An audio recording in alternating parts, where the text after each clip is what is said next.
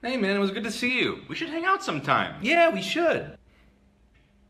But we never will. Not even once. And it's not because we don't like each other. Nope, we just will never ever initiate hanging out. Not for our entire lives. We will both die of old age before we ever even think about hanging out. And we'll have this exact exchange 800 million times.